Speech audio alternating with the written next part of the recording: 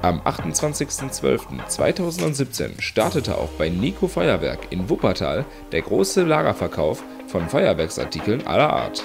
Vom Kanonenschlag bis zur Silvesterrakete bis zum Tischfeuerwerk war mal wieder alles dabei, was das Herz eines Pyro- und Feuerwerkfans begehrt.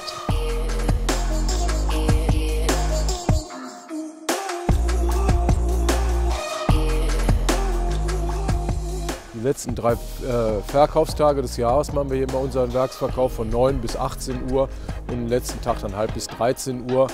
Äh, wir ziehen das nicht so ganz so riesig auch, äh, ist mehr, zu wenige, mehr oder weniger inzwischen Mund-zu-Mund-Propaganda ohne große Werbung, weil wir natürlich auch unsere Händler in der Nähe ein bisschen schonen wollen. Und was heißt schonen, aber nicht, dass wir denen das Geschäft wegnehmen.